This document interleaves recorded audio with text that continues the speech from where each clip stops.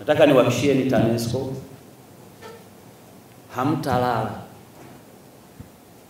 hamtalala usingizi. Mpaka wananchi wamepata umeme.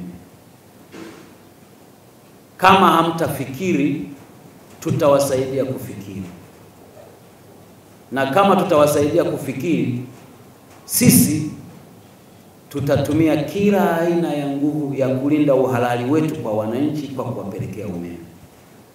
Ni kweli yako matatizo, ni kweli, ni kweli yako matatizo yako nje ya uwezo wenu, ni kweli, lakini yako matatizo yako ndani ya uwezo wenu. TANESCO nimewaambia jana. Na narudia kuambia, kaa tu mkurugenzi, kama kweli asilimia sitini na tano ya umeme wa nchi hii ni wa gesi, na gesi haitoki mahali kwingine, inatoka Mtwara na Lindi.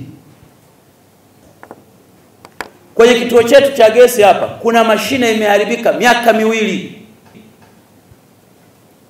haijatengenezwa. Ukiwauliza TANESCO wanakuambia taratibu za manunuzi.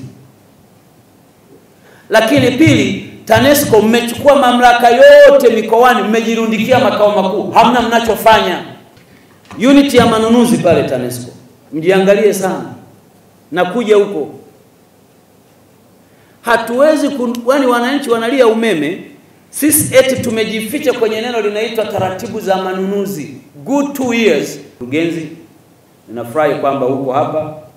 Nataka tufanye juu chini ili jambo la umeme hata kabla ya Mwalimu Nyerere kuingia, maana sasa hivi ishu tunasubiri bwawa la Mwalimu Nyerere. Mimi nataka hapa tumalizane na hawa watu mapema, na sasa kwa sababu hiyo tutaiangalia upya management ya TANESCO. Tutafute watu ambao wanajua ukubwa wa tatizo, watu ambao inawauma. Ni kweli wanafanya kazi nzuri sana, lakini wale wachache wanaowarudisha nyuma, jiangalieni kabla sijaja mimi. Jipitieni, pitisheni macho, mwangaliani namna mnavyoishi.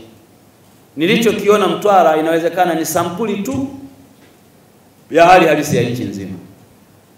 Natamani TANESCO iwe kimbilio la watu.